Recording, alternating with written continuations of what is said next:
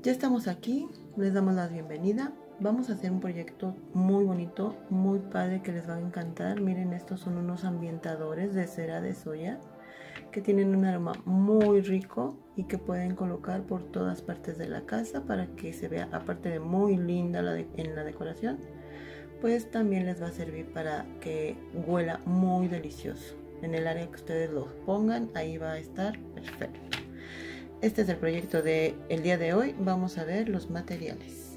Nuestra lista de materiales. Vamos a ocupar cera de soya. Aquí la tengo para fundirla. Vamos a necesitar elementos deshidratados a su elección. Yo tengo aquí pétalos de rosa, deshidratado de romero, lavanda, caléndula. Tengo eh, aquí un poquito de manzanilla, este tipo de productos que nos van a servir de decoración. Necesitamos un molde. Voy a usar en esta ocasión este, pero pueden utilizar el de su preferencia. Y vamos a necesitar también elementos como listones, tijeras. Aquí yo tengo un popote de esos que se utilizan para los globos, un portaglobos.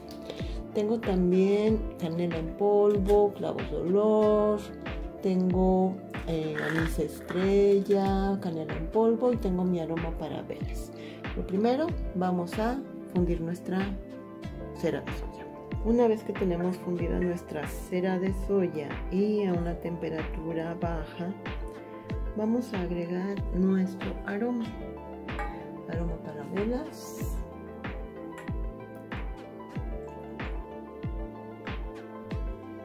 Y mezclamos.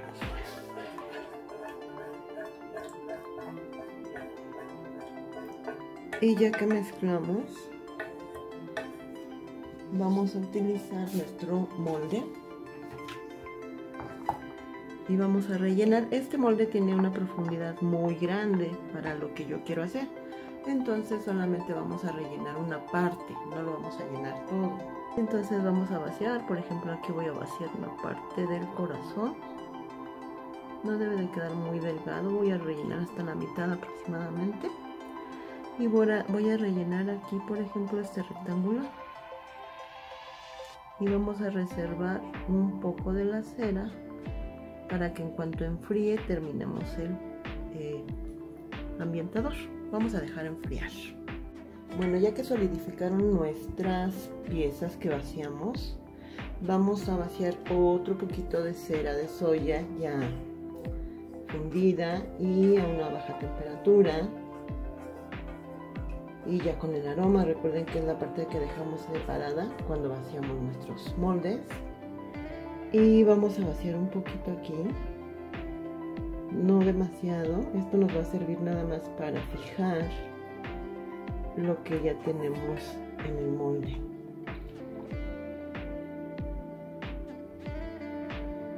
Y lo que le vamos a agregar de decoración. Vamos a empezar con nuestra decoración con todos los elementos que tenemos aquí vamos a ir colocando. Aquí tengo también sachet. Y de ese escogí algunas piezas como por ejemplo esta. Y las vamos a ir colocando sobre nuestro molde haciendo nuestro diseño antes de que esto se vaya a empezar a solidificar. Esto es para que con esta capa pequeña no se vaya todo al fondo, solamente quede superficial. Tengo esa estrella, voy a poner un poquito y otros elementos. A lo mejor le puedo poner un poquito de romero deshidratado en estos huequitos de aquí. Y tenemos por acá la banda.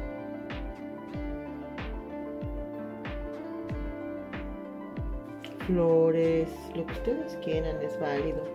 Cáscaras de cítrico también. Bueno, este es nuestro primer moldecito. Ahora acá en el corazón le voy a poner, no sé, por ejemplo este pedacito de corteza de árbol. Le quiero poner también, por ejemplo, este aquí en el, bueno, aquí en la orillita.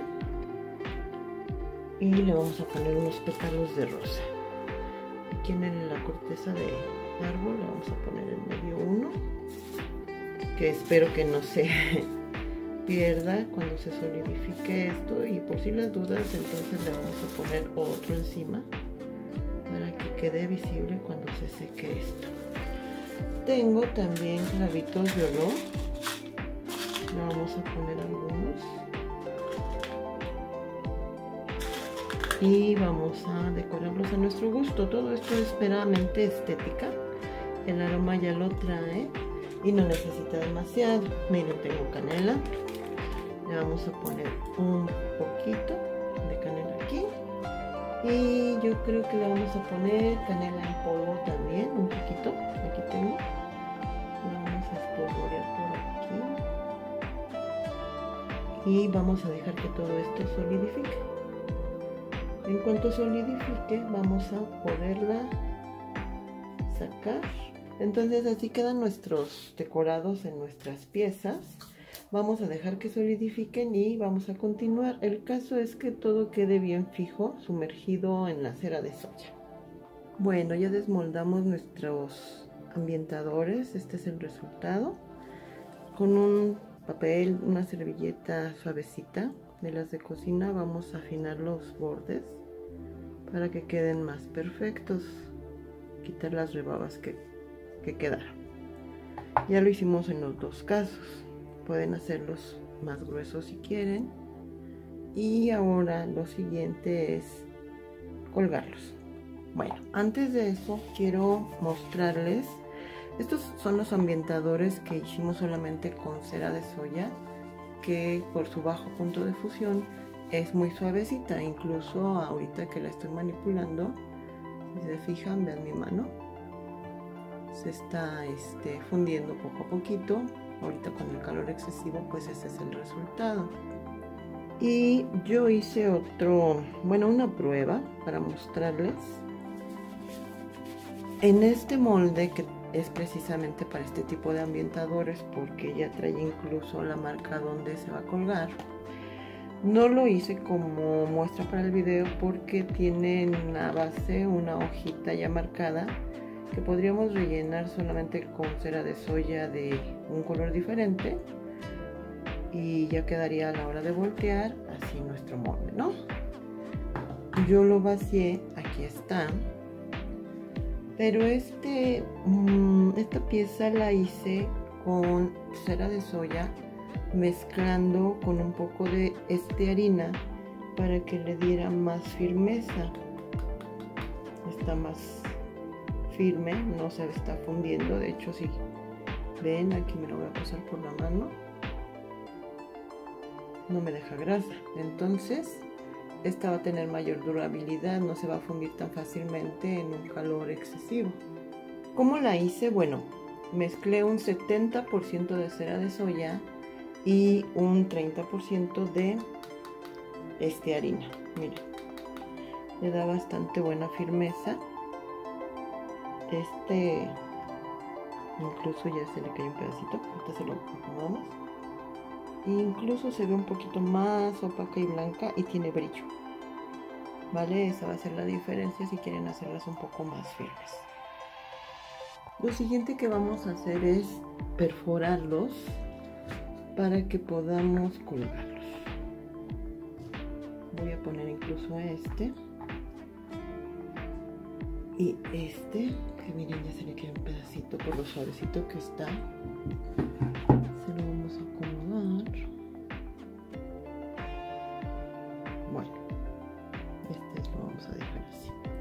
Ahora, para perforarlo y poderlo colgar, les decía que este molde ya trae marcado el punto en donde se va a perforar, pero no viene perforado como otros moldes que traen incluso en vez del puro puntito traen un postecito que va a hacer que no se llene en esa parte y quede el hueco en, la pieza. Perforarlas, miren, yo les voy a sugerir esta idea.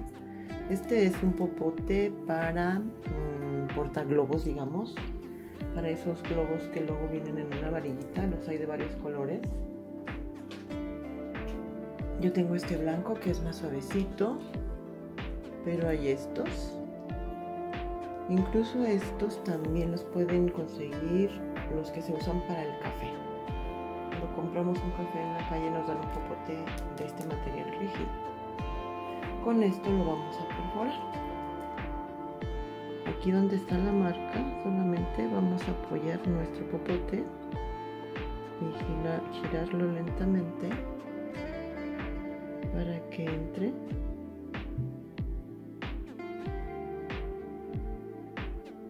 y nos deje el huequito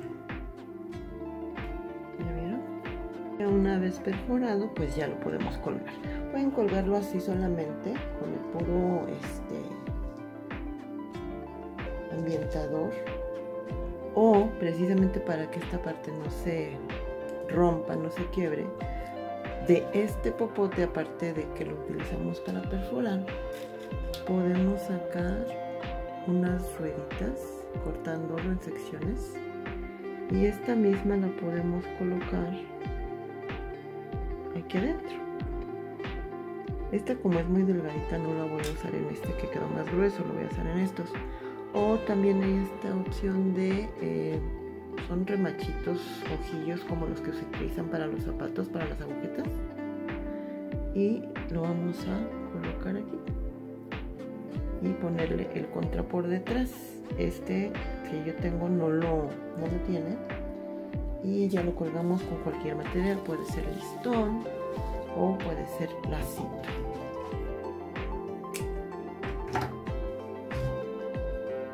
Ya solamente lo pasamos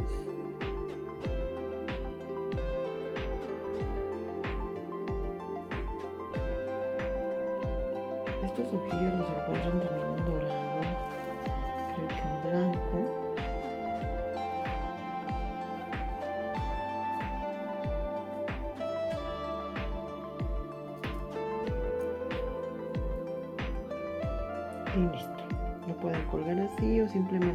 una sola de las puntas.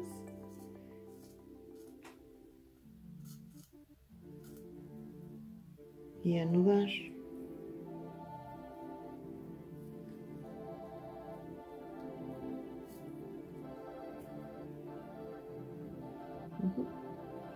Aquí arriba hacemos otro nudito.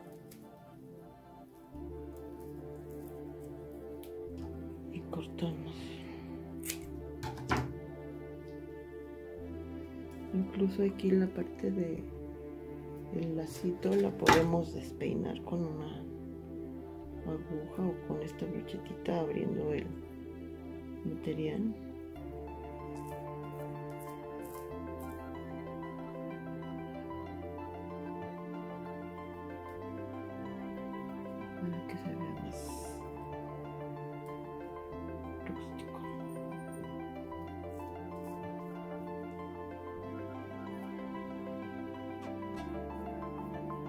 Y ya tenemos nuestro colgador, nuestro ambientador. Ya aquí los tenemos con nuestro colgador, miren. Tienen adentro el pedazo de popote de portaglobo que le corté y con eso va a resistir más este tiene el ojillo y a este también le pusimos un pedazo y muy rico.